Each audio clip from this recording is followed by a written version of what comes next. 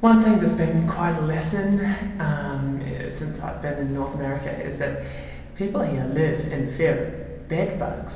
Wow, it's true. Like that whole don't let the bed bugs bite thing, that's not just a catchy saying, that's something people live their lives by.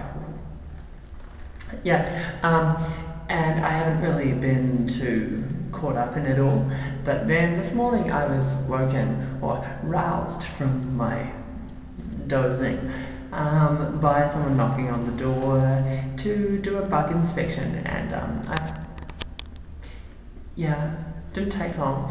I think our, our apartment was fine, but there were some bugs found elsewhere in the building. Da da da. So we do have to take a few precautionary measures. Da da da. Ooh, I feel so North American right now. Yeah. Um, what a difference a day makes. Like, is that a Bond movie? Or a song? Or the title song from a Bond movie? I don't know, but it probably should be. It should be many things because it's so true.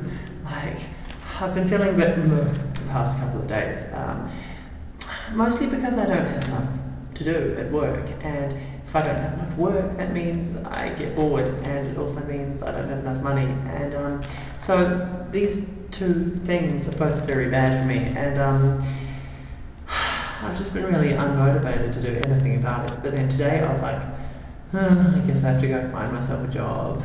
And so I took a few measures to do that. And then the first place I walked into to be like, hi, do you want me? They were like, yeah, come and do a trial shift tomorrow. And I was like, yay! And that sort of set me buzzing. So um, that really got me up and going. Um, got me getting a haircut and buying clothes for tomorrow and stuff like that. So yay! and handing out many more resumes to many more places. So hopefully something will come. But I felt a lot more welcomed today than I did other times that I um, did the resume handing out. Um, it's funny, isn't it? Hmm. Don't know. Don't know what all the factors are. Uh, but I'm feeling good about this. Yeah. Ooh. Yeah. So, good night. Don't let the bed bugs bite.